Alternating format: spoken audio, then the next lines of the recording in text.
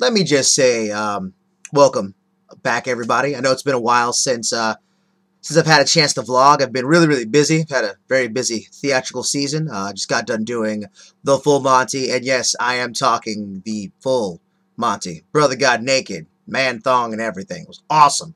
But that's besides the point. Um, just going to kind of make this really, really quick. I am here to say that the LA Kings, which is a team that honestly I've been making fun of for a long time because I had said a million times that they haven't been anything since the 90s when, when Gretzky was there. And up until this season, I've been right.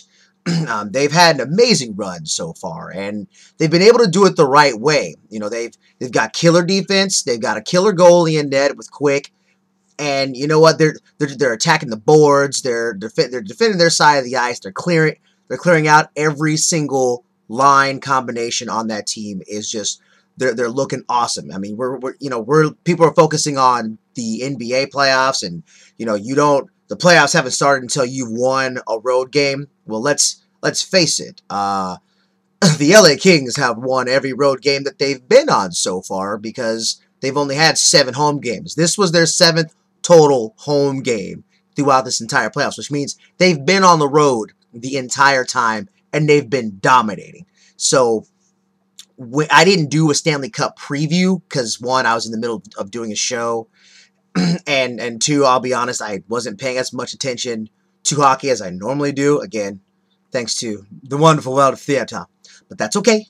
But I'm I'm focused on it right now, and I'm and I'm back on it right right at the right time. Um, however, the Kings have had a problem closing out with game fours. I don't have the stats in front of me, but I know when they played the Coyotes to get to the Stanley Cup final, they didn't close it out in game four. They closed it out uh, in, in, the next game. So hopefully they can close it out uh, again later on this week uh, in, in game four because they, they are at home.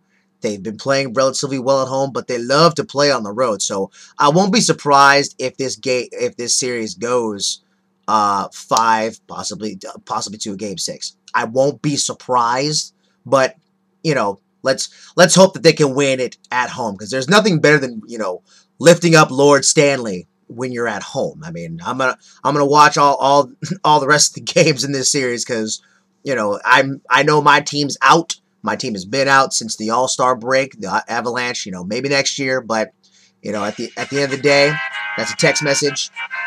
Um, but at the end of the day, I want to see Lord Stanley come out to play. That's that's what I want to see. Just like you know, if you're a, if you're if you're a uh, baseball fan, you you want to see the World Series trophy, which I actually don't know the name of because it seems like every trophy has a name. You've got the Lombardi Trophy in the in the NFL. You've got Stanley Cup for for hockey.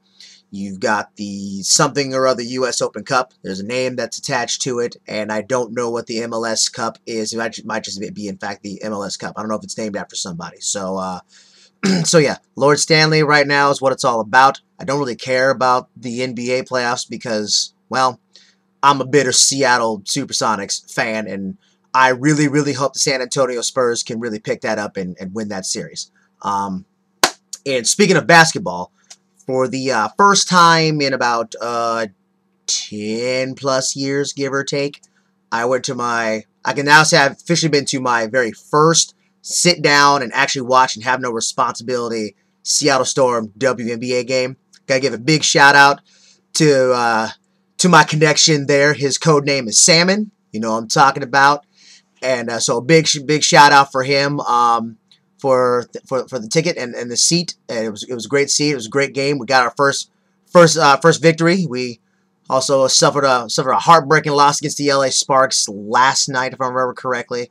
Um, it, it comes down to this with the Seattle with the Seattle Storm. My my assessment after one game, the team depends on both Sue Bird and Lauren Jackson. Those are your corner, cornerstones of that team, and I can tell from a low post perspective that they're definitely suffering. They're not getting as many rebounds. They don't seem to be getting the getting the points inside the paint. We all know Sue Bird's going to score outside, and that's okay because that's that's what she's that's what she's good at. She's got ice water in her veins, and she she can she can shoot it from from anywhere. I mean, it's it's quite amazing. I kind of equate her to.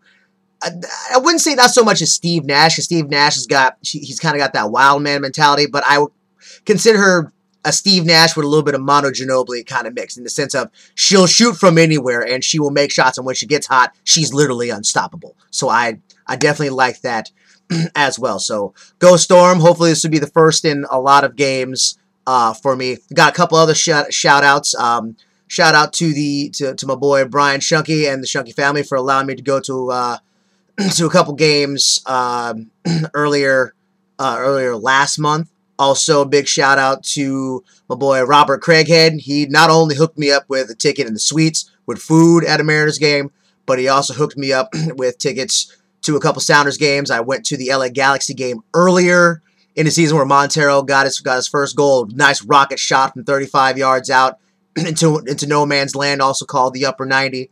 That that was great. And also went to the Columbus Crew game, which wasn't that great of a game, but I still had a really, really good time. So big ticket shout outs to, to those people. That's it for Average Joe Sports today. I'm just going to make it nice and quick.